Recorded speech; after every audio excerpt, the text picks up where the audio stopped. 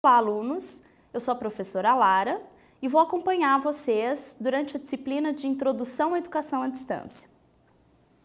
Bem, a disciplina ela foi estruturada em três unidades temáticas. Na primeira, nós vamos tratar sobre os ambientes virtuais de aprendizagem, que são aqueles sistemas baseados na internet com fins educativos. Na segunda unidade, nós vamos estudar sobre o histórico da educação à distância, as legislações que a regem sobre os seus conceitos.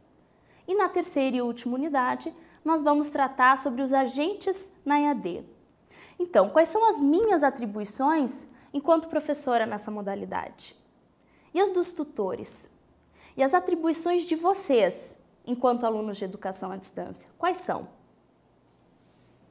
Bom, em cada unidade temática, vocês terão as orientações de como estudar cada um dos materiais, para que depois a gente possa discutir de forma coletiva sobre os temas tratados e também para que vocês tenham subsídios para desenvolver todas as atividades que eu proponho para vocês durante a disciplina. Então, sejam bem-vindos e bons estudos!